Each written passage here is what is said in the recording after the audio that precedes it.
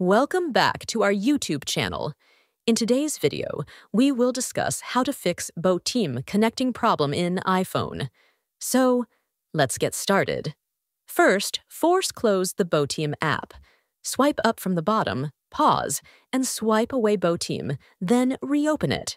Next, reset network settings. Go to Settings, General Transfer, or Reset iPhone, Reset. Reset network settings. This clears Wi Fi passwords. Clear app cache by offloading Settings, General, iPhone Storage, Botim, Offload app, then reinstall. Update iOS and Botim to the latest versions via App Store.